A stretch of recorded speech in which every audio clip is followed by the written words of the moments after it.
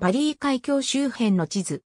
東西に伸びる部分は、夏季の遅い時期には通常航行が可能であるが、北西に伸びる西側の部分は、通常は氷に閉ざされている。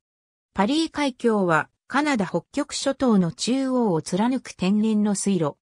東側の3分の2ほどは、ヌナブト準州に属し、西側の3分の1ほど、整形110度線以西は、ノースウエスト準州に属している。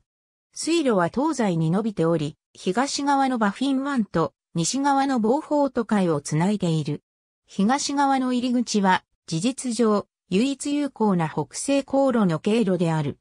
海峡の西端は、氷に阻まれていなければ、北極諸島を抜ける出口の一つである。海峡は、北側に位置するクイーンエリザベス諸島を、ヌナブと準州の他の地域から切り離している。この海峡の部分的な名称としては、東から西へ、ランカスター海峡、バロー海峡、バイカウントメルビル海峡、マクルアー海峡がある。海峡の南側には、東から西へ、まずバフィン島があってこの島のアドミラルティ湾やブローダー半島が海峡に面しており、さらにブーシア湾の広い海域へ抜けるプリンスリージェント海峡、サマーセット島、南側への主要な航路である、ピール海峡、プリンス・オブ・ウェールズ島、氷に閉ざされているマクリントク海峡、ビクトリア島、狭隘なプリンス・オブ・ウェールズ海峡、バンクス島がある。北側には、東から西へ、デボン島、ウェリントン海峡、コーンボリス島、マクドガル海峡、バサースト島、メルビル島、プリンスパトリック島がある。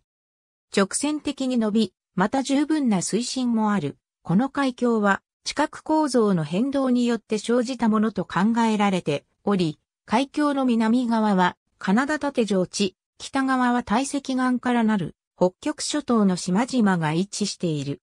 パリー海峡は北極体験家、ウィリアム・エドワード・パリーにちなんで名付けられたものであるが、パリーは1819年にメルビル島まで到達し、その後、マクルアー海峡で氷に閉ざされて動けなくなった。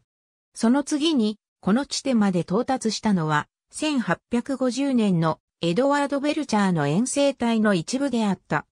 20世紀末以来、地球温暖化の影響で氷に閉ざされた部分の縮小が進んでおり、特に2012年には大幅な氷の退縮が観測された。ありがとうございます。